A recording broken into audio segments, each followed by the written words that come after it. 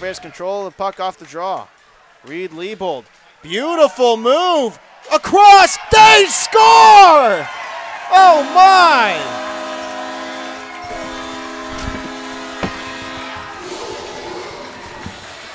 The Knights almost were gifted the goal right back. And look out here, Heidenprim, from scores!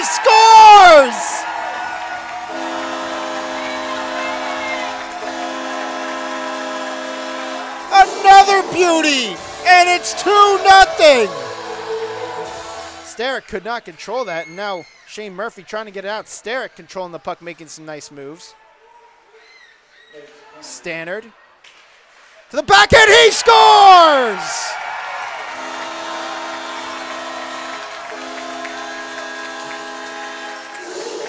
He was due, and Braden Stannard may have put this one out of reach. It's 3 0 Maryland.